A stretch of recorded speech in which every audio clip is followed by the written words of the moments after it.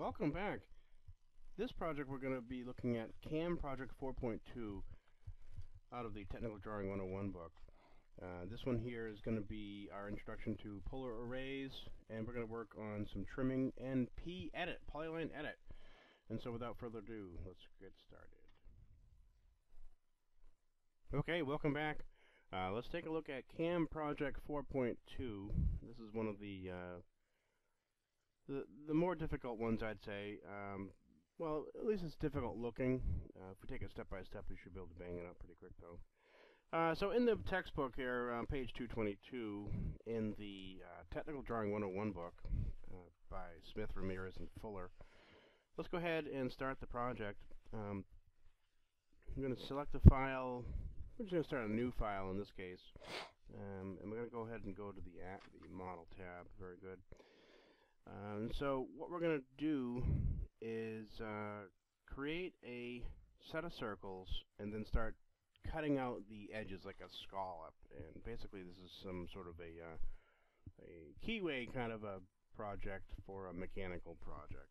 So, so let's go ahead and start um, the circle command.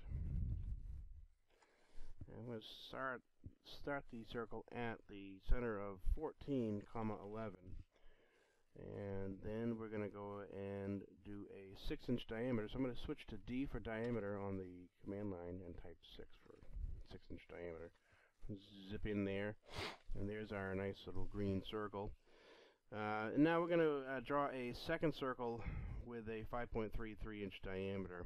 And there's a couple ways we could do that. We could do that with an offset command, or we just draw a new circle, and it's it's probably fast enough. And this time I'll go up and hit, go ahead and go to the uh, circle tool and choose center diameter. And this time I'm going to shift right click and choose the center O snap and float my hover my cursor over that first circle. And so my second circle is hooked right up to the center line. And so it's asking for the diameter. I'm going to type in uh, 5.33 inches. There we go. All right, very good. And we're going to enter add a center line uh, to the circle. And so we're going to use one of the fancy uh, dimensions. And so under the annotation, under the annotation ribbon, there's a center mark. Okay, and so we're going to just take a look at this center mark first. I'm going to select that circle there and hit enter. So that's kind of fast. Uh, it's a very nice traditional way of looking at the center mark for sure. And uh, that, that'll be helpful. And finally, we're going to go ahead and draw a 2-inch circle in diameter at the right of the first quadrant. And so, another O-snap, we're going to start the circle command. We're doing a 2-inch diameter, right? So go back to the home ribbon, circle, diameter. And where do we want to put it? The command, the book wants us at the quadrant of the outer circle. So I'm going to type in QAD, quadrant, QAD, enter. And now notice my command line is saying circle of. So it means I told us to start a circle at the quadrant, and then it's asking, okay, the quadrant of, right? And so I'm going to just hover over that circle. Notice I'm hovering anywhere near that, that midpoint of that circle. Click there, and the diameter is going to be 2 inches. There's your, your second 2-inch circle there. And now we're going to go ahead and, and activate the array command. And out of the box, the default array command is the rectangular, as you can see. So we need to use the drop-down flyout below it. And we're going to go out and use the polar array. And at this point, we're going to use the polar array select that guy here and hit enter. Command line is asking us for the um, base point and I'm going to choose the the shift right click center of any one of those concentric circles. The command line is now asking us tell it is asking us for uh, number of items, and so I'm going to just verify that the I'm going to type I for items and hit six. It was defaulted to six, okay. And a fill angle of hit enter, and then we'll do a F for fill angle of 360. We just I mean, these are default, and obviously it's already working fine, so, and there you go. And that is the, um, and then we'll type X for exit, and that is the polar array. I'll zoom extents just to kind of lock in there. And the next thing we're going to do is we're going to uh, start to chop out that, that outer circle. And so we are going to erase the larger diameter circle. So I'm going to type the erase command with my left hand. Pick it with my right. And now what I'm going to do is type the trim command. I'll, I'll, I'll show you where the trim command is. We'll use this trim command up here off the uh, ribbon. Same command. And I'm just going to start going hog wild, okay? And so I'm going to start trimming these out here. And see what the trim command does anytime there is object, it will it'll take its toll.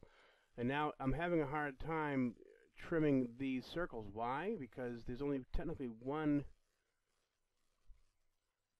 See, by using the trim the the new way, we need to select the cutting edge.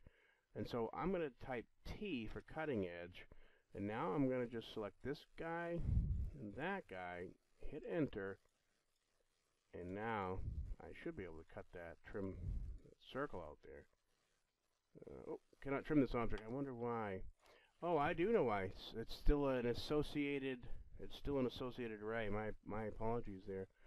And so, well, you, so you notice here how if you select any one of the arrayed circles, the whole object kind of still lights up. And that's because it's still an associative array. Um, and what we can do is uh, close the array. I want to just explode it. I'm just going to close the array, and I'm going to just explode that array. And now I have separate object. And I bet you the trim command will work better this time. And so we'll just go ahead. Yep, it does. That that new fancy old trim command is just so sweet and fast. All right, so there's your there's your gear that's starting to show starting to show pretty quick. Um, and now we're going to create a slot in the top of that gear, and we're going to do a uh, draw a circle of diameter 2.67 inches, centered on the existing cam. Okay, no problem. So we're going to start the circle command, again diameter, and from where? We need to find the center of something. Well, each one of these arc segments has a center. And, and so I can shift right click and choose the center O snap of any one of those arc segments. Alright, and so they're all, even though it's not a circle, it's still, these are all arcs. And of course, the uh, having the center mark there is, is super helpful also because you, you can just still do a circle um, from the intersection right there. And the circle that they want drawn is a 2.67, oh, that's our, it's in radius mode, type D for diameter, and then go 2.67, there we go. Um, and now I'm going to draw another circle, the diameter of 0.325, with using the point where the vertical center line and the new circle intersect at the center point. Okay, and so I'm going to do another circle diameter right here at the inner circle, uh, intersection, so that's also the quadrant, um, if I shift right click, I can choose intersection, it's the same, and so I can either snap right to it to immediate intersection, or I can do a deferred intersection, and so I'm going to defer it, I'm going to pick that intersection of that object and the intersection of the, oh, look at that, it's, it snaps right to where it should be, of course, and so there you go. And so the diameter here is going to be 0.325, alright, and uh, with the ortho on, draw two vertical lines starting from the quadrants on each side of the small circle. Sure. And so we're going to go ahead and type the L, and I'm going to choose quadrant there. And we need to go ortho, and there's a couple ways we could either just go F8 and snap the ortho mode on, or F8 off. And without F8 on, the ortho is turned off. Now I'd have to rely on these, which are the polar extensions. And so those are those angular extensions. See how it's snapping to the right? And I float, float, float, float, float, float, and it snaps north, okay? There we go. And I'm just going to drop it right there. Just for a minute, hit escape. And a couple, I could draw another one, or I could do the mirror command. Alright, so we'll go the mirror command. Pick that line, and the mirror is going to be the center of that little guy here. And now, now I do need the ortho turned on. So I'll hit F8, there's ortho 1, and I'm just going to aim my cursor north and hit pick. I'm not going to erase the source object. There we go. And so that be that starts your your your uh, slot, and you're probably, of course, going to want to trim that. And so we'll just pick those two lines there. And we also need, it's a slot, so we're going to pick that. Um, oh, oh, undo. Trim that again. TR. And pick these there. Wow, that new trim is just so fantastic. And we also need to trim oh god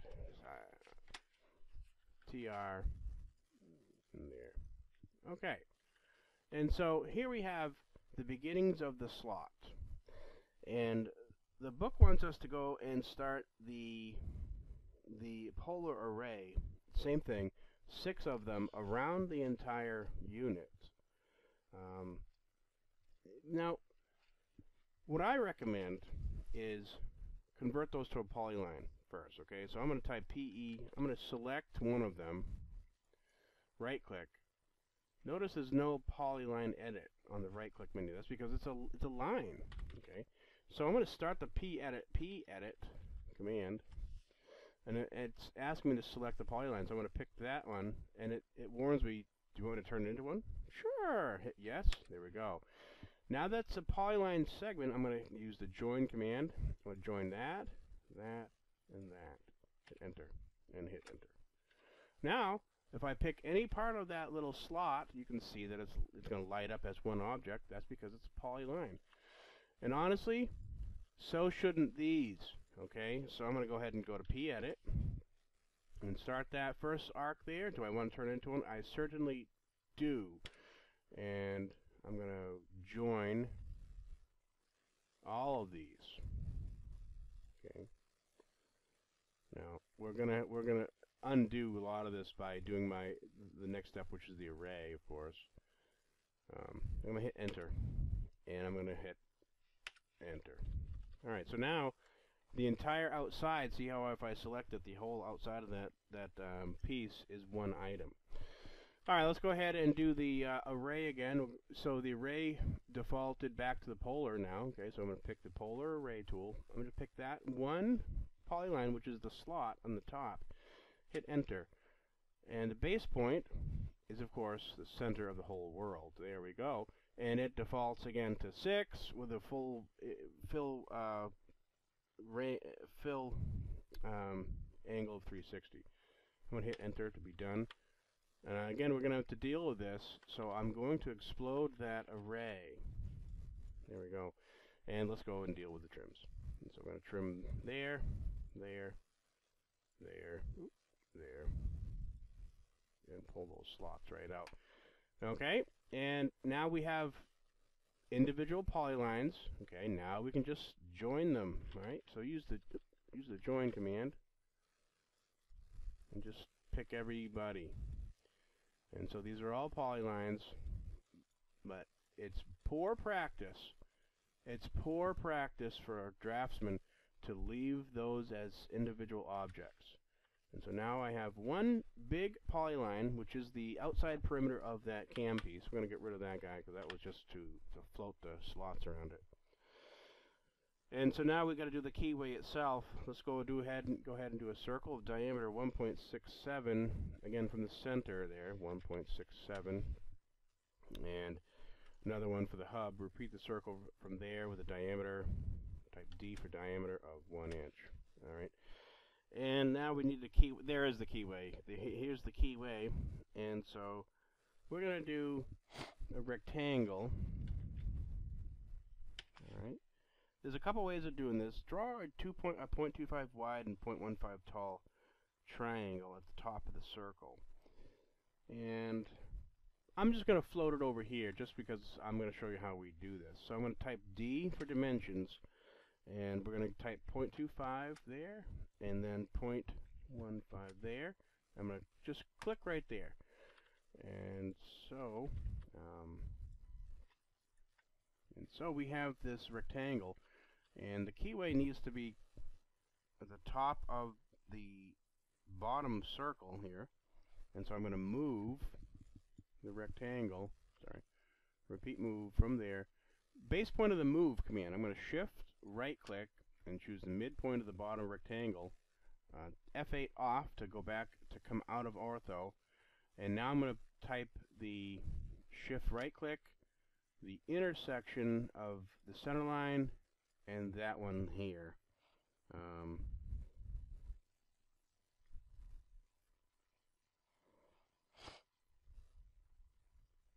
there we go. And we do need to bring this down. Um, not entirely sure how the, the book wants us to finish that. So what I'm going to do is uh, trim that section here and I'm going to extend um, extend using a boundary edge this time. Using that as the fence hit enter and now I'm going to select that piece and that piece how it extends out. And now the trim work the trim command oops sorry undo.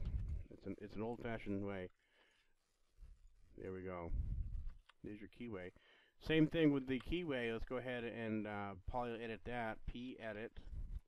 And pick that arc segment. I want to turn it into one, yes. And then I'm going to join it with that polyline there. Alright. And there we go. So now we have a single polyline there. We have a single circle here. And the main unit is a polyline as well. So I'm going to hit save, of course, and put that in my project location Um, I don't really have a great folder here. I'll put it there.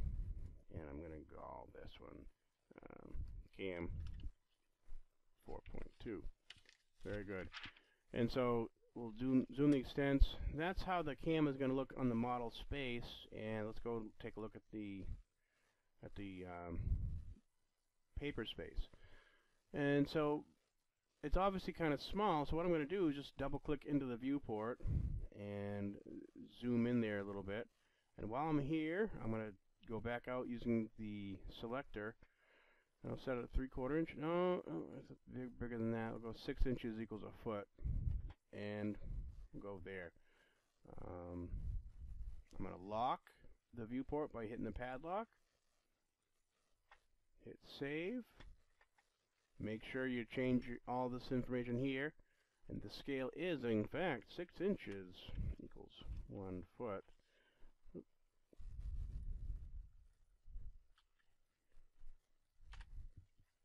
And the job name is CAM 4.2. Very good. And of course, it's always sheet number one of one, if there's only one enter, save it. And finally, what you need to do is right click on the tab, and we're going to plot it to PDF. Always make sure your color-based CTB file is activated. Hit the preview button. Looks good. It's basic. That's all we're looking for at this point in time. Uh, we'll start to annotate things later, and we'll work on our scaling as well. Go ahead and hit right click and choose plot sends it out to the same project, uh, same location that I was saving the mother at in class work. And go ahead and call it cam 4.2 underscore Bailey for your last name. Right click. And that's what you would submit for, for class. Okay. Um, any questions? Go ahead and uh, check me on Canvas or you can shoot me an email. Thanks very much and happy AutoCADing.